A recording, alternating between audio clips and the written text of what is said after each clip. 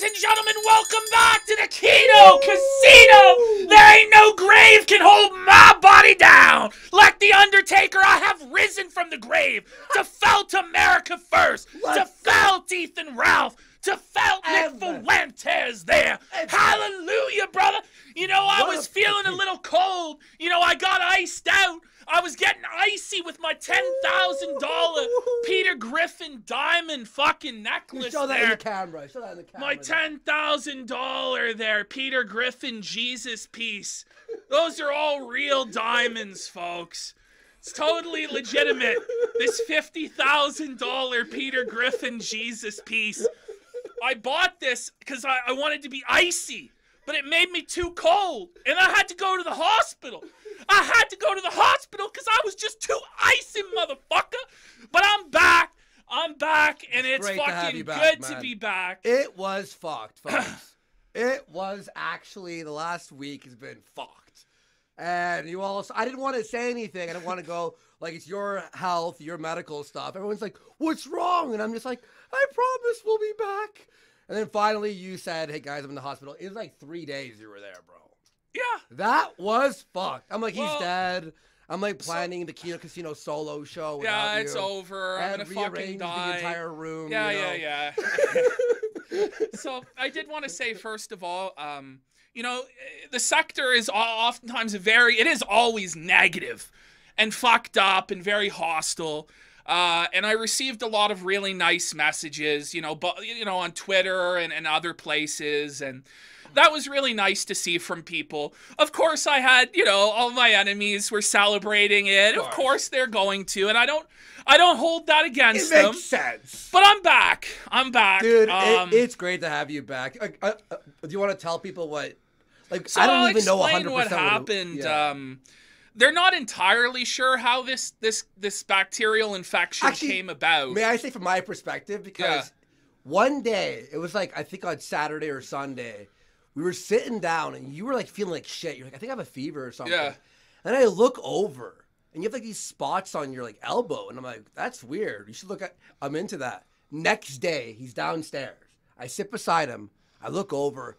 His entire arm is just red. Well, so what what happened was, um, you know, I was going out uh, a lot more. I've been touching grass more. Yes, we have. um, going outside more and doing other things. I was at the mall and I was at uh, the condo of our buddies, and we were at the in the hot tub, and it's like a public hot tub and stuff like that.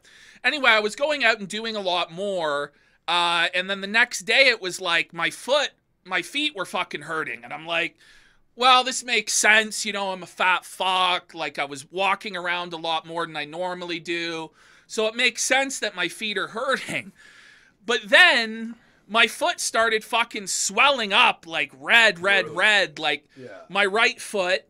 And I was like, fuck, this isn't good. And it kept spreading throughout my body. So it like came up into my knees, started going red. My elbows started going red. Still a little My bit red, hands started going red.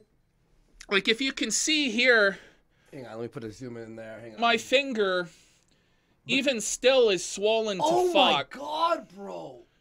Yeah. Jesus. Like right there. Look at that, man. It's So- really red. It's hard to see on the camera, but You know, I was trying to tough it out for a number of days, but eventually I was like, you know, and I started to get a fever we did Gum and Road. fucking chills. the night before the, the night before you went to the hospital. We did Gum Road all night, and you by the end you're like Andy, I'm gonna die, and I was like, what? What do you mean you're gonna die? You're just like I'm gonna die. I'm, and then after the next day, you're at, after bringing you to the hospital. I'm like, oh my fucking, and I was just so, like, you know, I got checked in and they immediately just started pumping me full of antibiotics. Um, and it took them a little while to figure it out. They were like, well, we think this is sepsis. And basically, what happened is my body, you know, because this bacterial infection, which they think I got from the hot tub, they don't know. Nobody knows. no. Um, I was in the hot tub and I'm my fine, body so. started attacking its own joints. Like it, it made a mistake in how it was fighting the infection. And so it was fucking up all my joints. So they pumped me with like 16 different antibiotics. They were running constant blood tests.